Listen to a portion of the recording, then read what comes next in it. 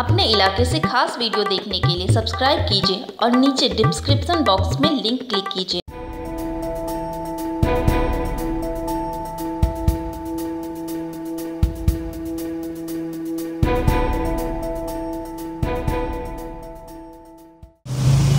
एक school van में अचानक आग लगने से धा धा करके जल गई। फॉगिंग मशीन को फ़ोन करने के बाद भी वो घंटों नहीं आ पाई। जिस व्यक्ति की गाड़ी है उसका कहना है कि शायद ये मशीन जल्दी आ जाती तो उसकी गाड़ी बच सकती थी। उसका बहुत नुकसान हुआ है। और यहाँ घंटों जाम लगा रहा जिससे लोगों का आवागमन ठप रहा और लोग भी परेशान रहे। ये आपकी गाड़ी में कैसे आग लग गई?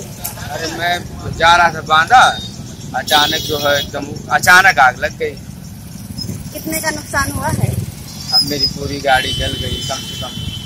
नई न्यू गाड़ी है दो साल हुई गाड़ी को बीमा है गाड़ी का बीमा उम्र सब लागत वहाँ के लिए सूचना किया कि नहीं? सूचना किया वहाँ के लिए कि नहीं? हाँ मैंने बता दिया है। पुलिस को भी बुलाया है। और बीमा वालों को भी बताया है। तो कितनी देर गाड़ी जलने के बाद ये मशीन आई है जो आग बुझा रही है? ये कम से कम एक घंटे तो लग ही कहाँ जाना था?